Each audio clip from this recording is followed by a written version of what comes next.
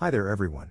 Welcome to Fingers, Fumbs, and Fits, and in this episode of Titty Piddle, I will be painting one of the Dungeon Saga Origins Kickstarter exclusive heroes, the human monk Haderas of Wolfmarch. Can I keep the paint inside the lines? Let's find out. This is another model that drew its inspiration from a video game. Whenever I think of a fighting monk, I think of the monk from Final Fantasy, and so I was hoping to pay homage to that. So, I started with a base of Corax White. The tunic got a layer of Frostheart.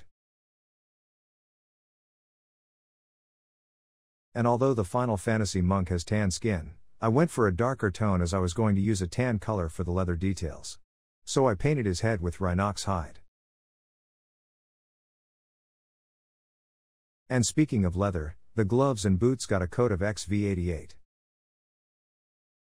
His head and trousers got a wash of Nuln Oil, and the leather details got some snakebite leather. His face then got a subtle highlight of a 2 to 1 mix of Rhinox hide and XV88. The Nuln Oil did most of the heavy lifting here. I then re-layered the boots and gloves with XV88. As I did, I remembered his book and belt. So they got a layer of XV88 also, while the book's binding got a coat of Rhinox hide. They were then both washed with snakebite leather. I then finished off by giving his beard a coat of black Templar, and highlighting the boots and gloves with Rakarth flesh. And there we have a completed Haderas of Wolfmarch, painted as a homage to the monk from Final Fantasy. So, what do we think?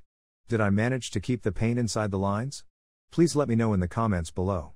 Thank you so much for watching, and I hope to see you again for the next one. Have a great day everyone, and I'll see you later.